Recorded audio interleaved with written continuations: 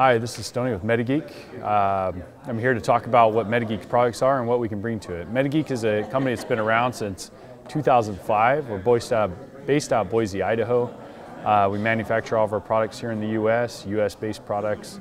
Um, and the products that we make are really around Wi-Fi tools and the Wi-Fi spectrum. So you're looking at 2.4 and 5 gigahertz. We provide both software and hardware. The hardware is a USB spectrum analyzer that allows you to collect the raw RF uh, for your systems. And then we also have applications like Channelizer, which is uh, takes that RF data and, and, then processes it.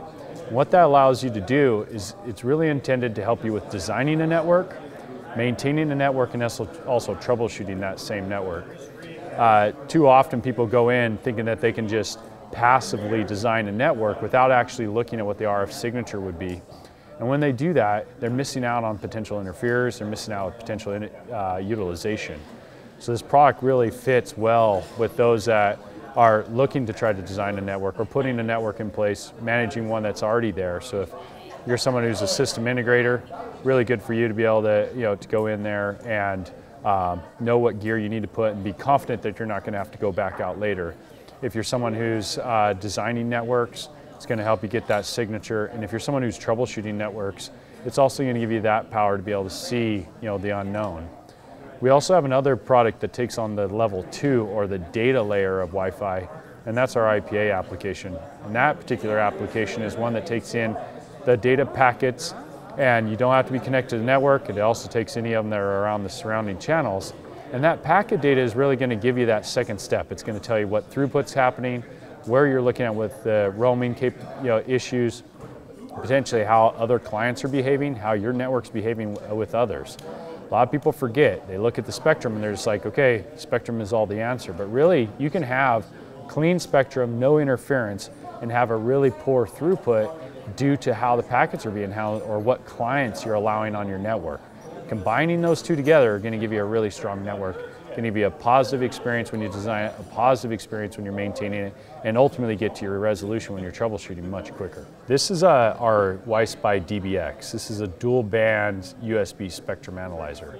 It takes in the 2.4 and 5 gigahertz uh, spectrum, raw data, and this data is taken up by our Channelizer application, the software you see in the background there.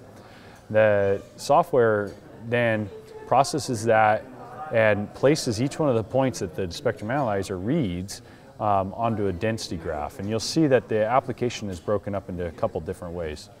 One, we have a waterfall view, which is much like a DVR or your digital video recorder. And this is where you're able to go back in time to really analyze what was happening at a specific time when you're doing your work. Then we have our one of our best views is our density view or uh, color by utilization. This is a very intuitive uh, visualization that helps you see what's going on in the software. You have red, obviously looks, uh, you know, indicates bad or something's wrong. Yellow is somewhere to be cautious or a little bit nervous about. And then green is something that's performing at a level that you expect with not a lot of issues. And then blue, blue is something to be aware of, but it's not really anything you should be too concerned about.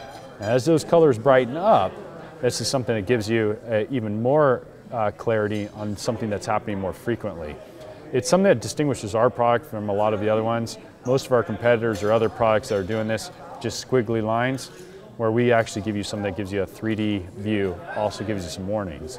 The software then also comes down and it has the ability to look at what's happening from a Wi-Fi perspective. So we're giving you the Wi-Fi network data, similar to what you find from the, the wireless NIC, which we're pulling out uh, able to show you what throughputs are, data rates, and you're also able to look at what the signal strength is, how many uh, SSIDs are associated with it. If you need to troubleshoot a specific radio within an AP, you're able to get down to that uh, level by being able to sort by radio. Very beneficial when you're doing your troubleshooting or being able to understand what's going on in the environment that you've designed or one that you're about to design. Uh, we also have capabilities like Device Finder. This uses our directional antenna. The directional antenna uh, gives you the ability to do a hot and cold game with whatever interference you're looking for. Plug it into your Wi-Spy, then trace down where your interferer is so you can physically locate it and then determine if you can remove it from the environment or if it's something that you should just avoid. Our Wi-Spy family does have three versions, the DBX, That does both 2.4 and 5 gigahertz. The uh, Wi-Spy 2.4X, that's a 2.4 gigahertz only application. And then we also have the Wi-Spy Mini, which is an internal Wi-Spy, or internal antenna Wi-Spy that does the 2.4 gigahertz as well. So these are your three options that you have.